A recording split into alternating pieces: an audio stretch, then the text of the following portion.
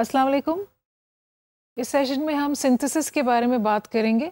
Synthesis क्या होता है? सिंथेसिस का मतलब है कि it means to join separate parts and create something new यानी एक से ज़्यादा ज़राए के से आप कोई थॉट्स और आइडियाज़ लेके उनको इकट्ठा करें और कोई नई चीज़ तैयार करें। अगर आपको किसी ने कहा है कि आप ये लिखें कि गाँव की ज़िंदगी और शहर की ज़िंदगी में क्या फ़र्क है और अगर, और उसके बारे में अगर आप लिस्ट बना लें, आप लिस्ट बना लेंगे कि ये वाली फ़ायदे गाँव में हैं रहने के और ये वाले फ़ायदे शहर में रहने के। बहुत लंबी लिस्ट हो, बेशक आपके पास बहुत से पॉइंट्स हों, बहुत कॉम्प्रहेंसिव लिस्ट हो और बड़ी मेहनत से आपने बनाई हो but what is it it's still a list वो एक फहरिस्त है, वो एक जीती जागती कहानी या जीता जागता ब्लॉग नहीं है। उसको कुछ बनाने के लिए, जो कि रीडर्स उसको इंटरेस्ट से पढ़ें, उसको इस शेप में लाने के लिए आपको उन चीज़ों को इकट्ठा करके एक अपना ओपिनियन देना होगा और एक कोई नई चीज़ तैयार करनी होगी। तो ताकि वो सारी चीज़ें वो लिस्ट यानी कि उसकी जो कंटेंट्स हैं वो अलग अलग ना हो बल्कि वो जुड़े हुए और वो फ्यूज़ होकर कोई एक नई चीज़ तैयार करें जिसमें कि पढ़ने वाले की दिलचस्पी का भी आ, कोई आंसर शामिल हो। जैसे अगर आप ये सोचें कि अक्सर क्राइम इन्वेस्टिगेशन की फ़िल्म्स होती हैं टीवी शोज़ होते हैं इसी तरह हॉस्पिटल्स के टीवी शोज़ होते हैं एक द हाउस आता होता था पहले बहुत इंटरेस्टिंग uh, था वो। तो उसमें बेशक उसमें मेडिकल प्रॉब्लम्स का एक सेटअप है। उसमें लोग आते हैं मरीज़ आते हैं लेकिन उसमें डॉक्टर्स की अपनी अपनी पर्सनैलिटीज़ हैं। डॉक्टर्स के अपने अपने इश्यूज़ हैं तो उन्होंने वो सारी चीज़ें सिंथेसाइज करके एक रियल वर्ल्ड क्रिएट की हुई है।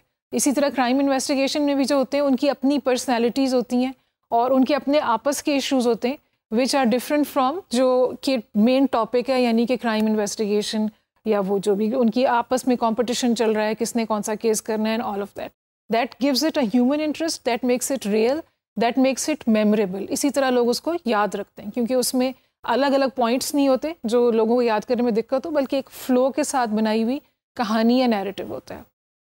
तो अगर आपको फॉर एग्ज़ाम्पल एक आपने ब्लॉग लिखना है फ़ास्ट फ़ूड के ऊपर, कि फ़ास्ट फूड्स का फैड पाकिस्तान में कैसे आया, और फिर क्या हुआ, और कौन सी सोशल हैबिट्स लोगों की चेंज हुई उसके बाद। तो उसके लिए आप एक लिस्ट बना सकते हैं लेकिन वो लिस्ट तो बहरहाल एक लिस्ट होगी।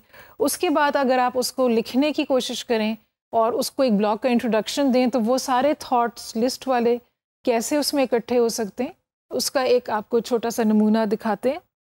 आ, उसको आपने फ्यूज़ करना है और ताकि एक पूरी कंप्लीट पिक्चर जो है पढ़ने वाले के सामने आ सके। ये नहीं कि हर पिक्चर का, हर कंटेंट अलग अलग पिक्चर में हो, बल्कि एक ही पिक्चर में सारी चीज़ हो। It has to be together और इसके लिए आप डिफरेंट डिफरेंट तरह के लोगों से पूछ सकते हैं। डिफरेंट व्यू पॉइंट्स लेने के लिए आप डिफरेंट लोगों से पूछ सकते हैं। आप खातन से पूछ सकते हैं, मर्दों से।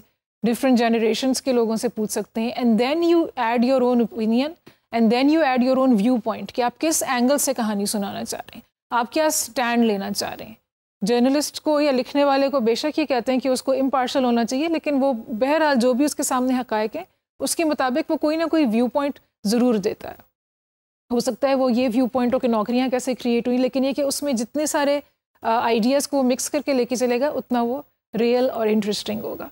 ये आ, इसके साथ आपको ये एक सैंपल दिखाते फास्ट फ़ूड और fast food When the first fast food chain open in Lahore, My friends and I couldn't believe our luck. Slowly, the fad faded with growing awareness about nutrition, balanced diet, and diseases like childhood diabetes caused by eating too much fast food. Yet, it still remains a popular option for a family outing. It's quick, it's cheap, and let's be honest, it's a bit more hygienic than other options at similar prices. I talked to several interesting people about fast food chains and got a wide range of views and opinions.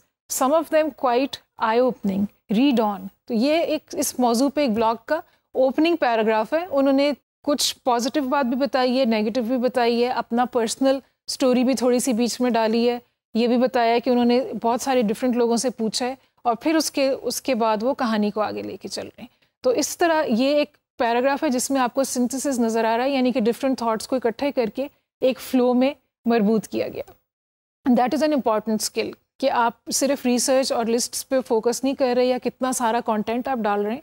हो सकता है जो आपकी list में चीज़ें हों, अगर आपके फ़्लो में नहीं भी आ रही, जो आप सिंथेसाइज्ड एक पिक्चर देना चाह रहे हैं, उसमें से कुछ चीज़ें आप ओमिट भी कर दें। Can leave them out as well तो इस तरह से सिंथेसिस एक इंपॉर्टेंट चीज़ है। आपके लिखने के लिए और उसमें ये भी ज़रूरी है कि कहानी के डिफरेंट हिस्से या अगर आप कोई स्क्रीन प्ले लिख रहे हैं तो उसके हर सीन अलग अलग ना हो। ये ना पता लगे कि ये आपने किसी एक मूड में लिखा था, ये अगली दफ़ा बैठे थे, कोई और दिमाग में चीज़ चल रही थी, किसी और चीज़ का आपने असर लिया हुआ था, कोई और चीज़ टीवी पे देखी थी तो उसके अंडर इन्फ्लुएंस आप थे। It should all flow as a whole it should be one synthesize whole so these are some important things to keep in mind चाहे आप कोई भी चीज़ मीडिया कैंपेन बना रहे हो स्क्रीन प्ले लिख रहे हो, कहानी या ब्लॉग या कोई और चीज़।